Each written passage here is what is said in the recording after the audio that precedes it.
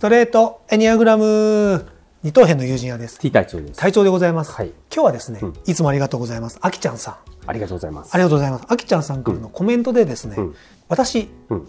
タイプ7ですが、うん。とっさの行動ができないことが多々あります。うん。例えば、何かが落ちそうな時にうんさっと手が出ないとか、うん。海で子供が溺れそうになった時に、うんすぐに動けなかった。うん。で、タイプ1の友達がうん。一緒に発見して、さっと駆け出した。うん。っていうことがあったよと。でまたちょっと話が違うかもですが、うんタイプ4とランチ中に、うん。なんか別の友達から、うんそのタイプ4の友達に電話がかかってきた。うんで怪我し怪我して辛そうな猫が公園にいるんだけど、うんどうしようっていう相談内容が、うんこの友達に、うんタイプ4だと思ってる友達にあった。うん。その時にタイプ4の子はすぐに、とにかくできるだけうん。急いで現場に向かうわうん。って返事をした。うん。その時に、うんあきちゃんさんはその行動を見て、うん私だったらまず、一緒にランチをしている人にうん。許可をもらってから返事するでしょ？うん。例えばそのランチの途中で申し訳ないけど、うん。気になるから行ってもいい？とかって、私だったら聞くなってうんちょっと思った。うん。でこれを、えー新しいエニアグラムの指針の参考になればと思いと、うん。いや新しいエニアグラムをみんなの手でうん。ってやってるところに来てるうん。動画ですと、うんあ来てるコメントですと、うん。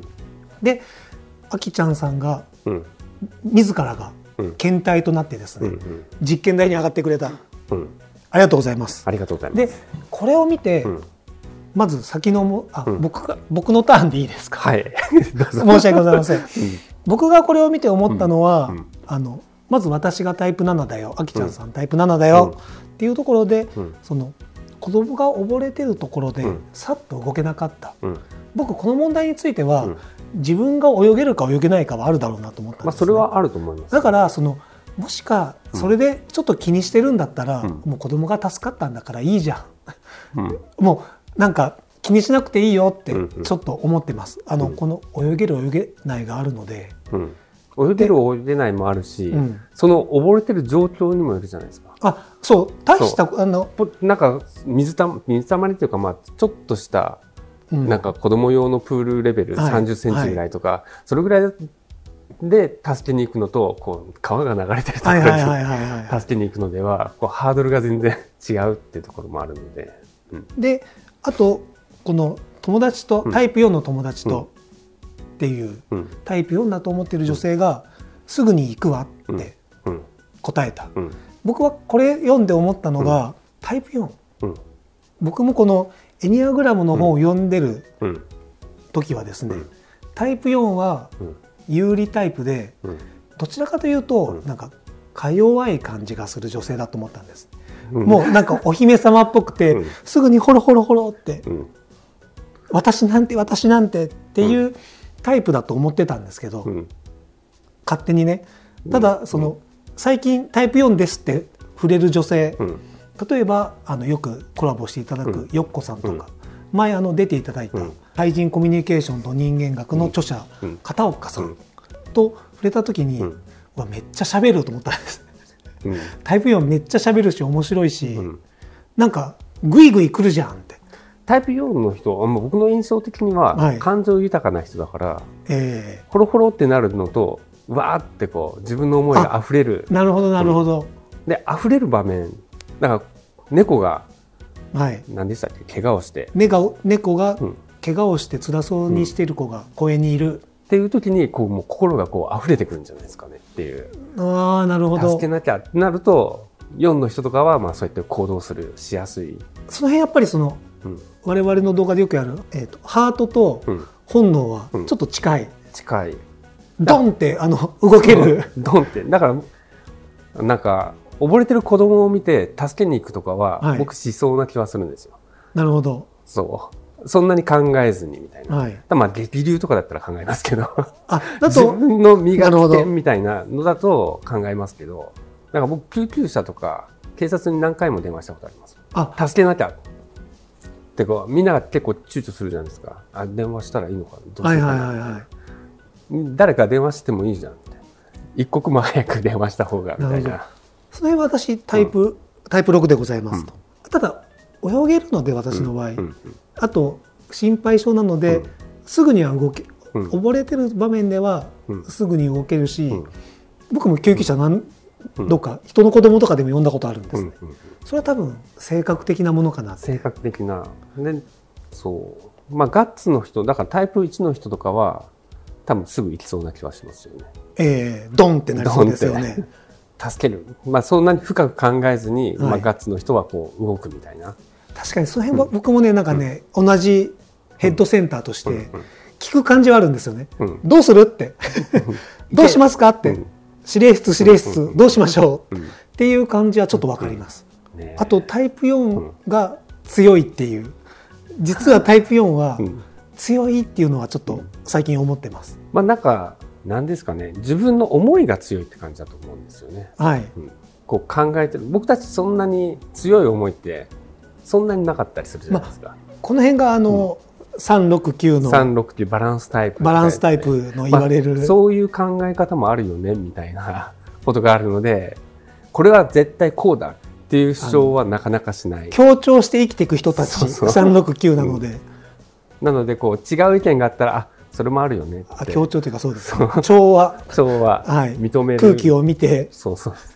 その場で動く、はい、でまあなんか完全に合わせてるって気持ちもなくてそういう感じじゃないですか。もうその時はもうそれでいいと思ってますからね、うんはい、だけどこのバランスタイプ以外の人ってこれはこうでしょうみたいな思いが結構あるじゃないですか。強い感じは。しますそう。てこで4の人もそうやってえ強い。ってことはですよ、うんタイプ7と言ってるうん。あきちゃんさん、うんうんうん。タイプ7かっていう。そう。そこは、タイプ7かっていうところですよね、うんうんうんこのタイプ7なんか2つ目のそう友達がうん猫の猫の猫猫事件。うん、猫事件。でタイプ7の人ってそんなに周りの目気にしないじゃないですか。行きなよ行きなよって。行きなよ行きなよだし自分がその電話がかかってきた4の立場だとしたら行くわって言うだろうあ言いそうな言いそうですよね。プで行くわって言ってから、うん。ごめん行っていいって。そうそうそうそう。ちょっとこういう事情だからさみたいな。ちょっと行ってくるわみたいな。っていうのはありそそうなんですう、よ、うん。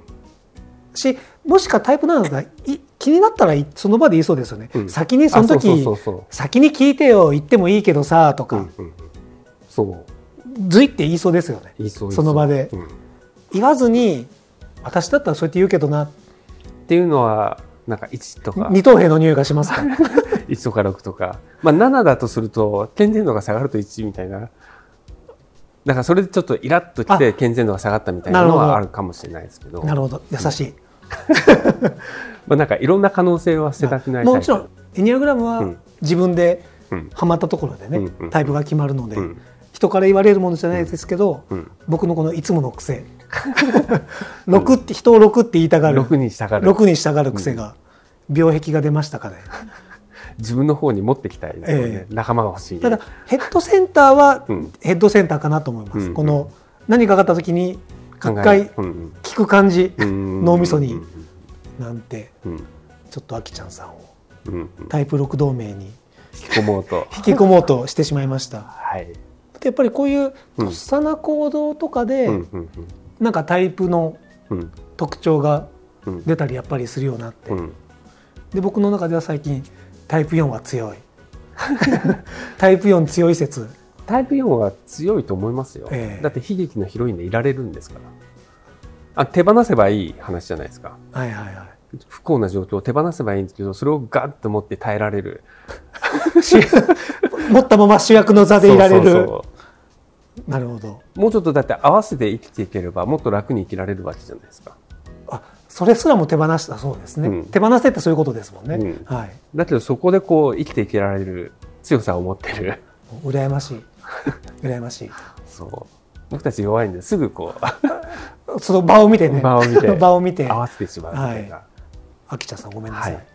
検体としてありがとうございます。ありがとうございます。何かあの、うん。こういうのがあったらいろいろいただければですね、うん。もうこれが悪ノリだと感じられるなら申し訳ございません。そんなに悪乗りしてるつもりはないですけどね。あ、まあ、思ったことですもんね。思ったこと、はい。うん。いかがでしたでしょうか、はい。ありがとうございました。ありがとうございました。チャンネル登録も何卒よろしくお願いします。ありがとうございました。